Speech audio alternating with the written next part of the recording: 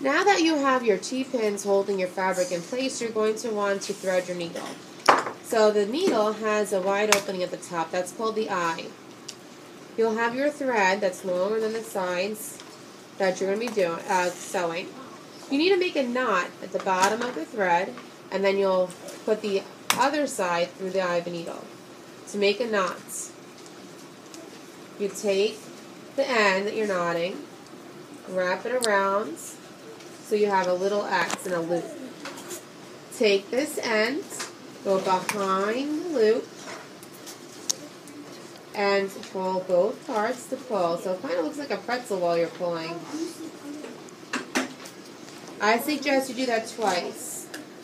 Wrap it around to make the X. Take the little ends, go behind and through the loop, and pull.